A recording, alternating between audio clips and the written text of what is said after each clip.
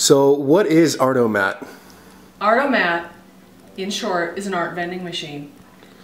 This is an old cigarette machine. For those of you kids, you wouldn't know, but they had packs of cigarettes in there. You put in your 25 cents, you pull the knob and let go and out pops something this size. But now it's art.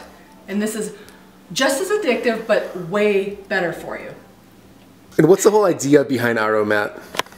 The whole idea, there's this genius, and he lives in Winston-Salem, North Carolina, and back in 1997, he had a solo art show where he put his photography individually wrapped inside an old cigarette machine. And people loved it so much that the gallery, after the show closed, decided to keep the Art-O-Mat, as it was called, in the gallery, and then other artists created art the size of a pack of cigarettes, and then the program of artists in cellophane began. And this is your grand collection?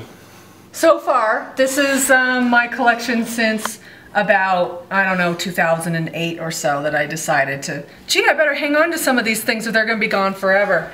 Um, pr my pride and joy is my Michelle Obama. And of course the artist forgot to put their name on the back, so I can't remember who did it, but I do love Michelle.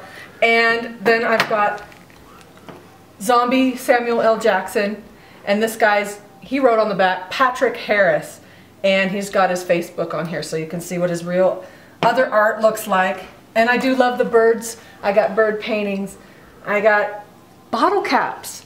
Now these are all just stuff on blocks of wood, but you can put something in a box too.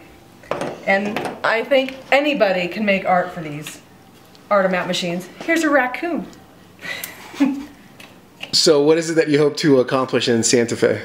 Oh, my dream would be an Art-O-Mat on every street corner in the whole city. Oh, and the whole state.